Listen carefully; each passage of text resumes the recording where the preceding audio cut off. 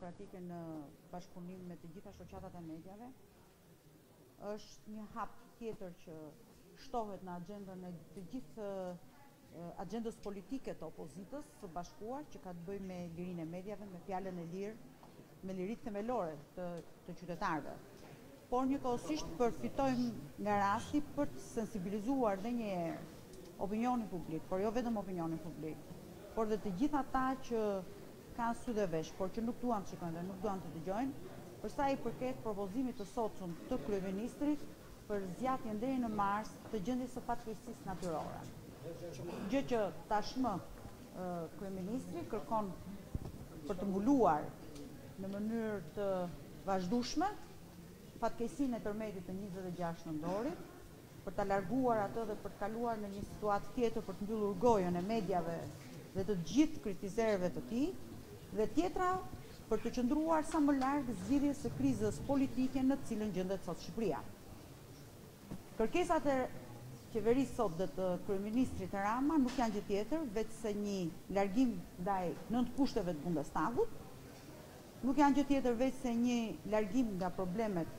që ka sot Shqipëria, duke filluar me atë ç'asht më e rëndësishme që në pranverë Komisioni Europian kërkon që të eci përpara me hapjen dhe çeljen e negociatave për Shqipërinë së bashku me Maqedoninë, por mënyra se si zoti Rama kërkon të zvarrisi dhe të largojë sa më larg Shqipërinë nga Bashkimi Europian nuk është gjë tjetër, sepse tashmë me ç'kuptojmë ne zoti Rama ka një axhendë politike antieuropiane ka një axhendë politike antishqiptare. Ky është momenti i parë që ne njihemi sot me kërkesën e tij. Do të vazhdojmë konsultimet tona me partnerët tanë ndërkombëtarë, brenda dhe jashtë Shqipërisë, por nga ana tjetër dhe me të gjithë grupet e interesit që kanë të bëjnë për sa i përket situatës politike dhe ekonomike. Kolapsin ekonomik në të cilën shumë shpejt pritet që Shqipëria që të kalojë dhe mendoj që ajo që është shumë e rëndësishme është që edhe me këtë gjë të gjithë ekspertët tanë ekonomistë duhet të fillojnë dhe të merren. Largimi i zotit Arben Malaj nga bordi i Bankës së Shqipërisë dhe zëvendësimi i tij me ndonjë kasnec të zotit Rama nuk është gjë tjetër Mund të jetë një lëvizje tjetër politike për të mbuluar gropën e zezë ekonomike që po kalon sot Shqipëria,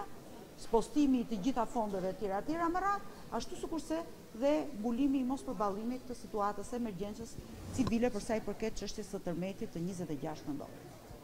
Faleminderit. Mando, hajde për jashtë për lidhje.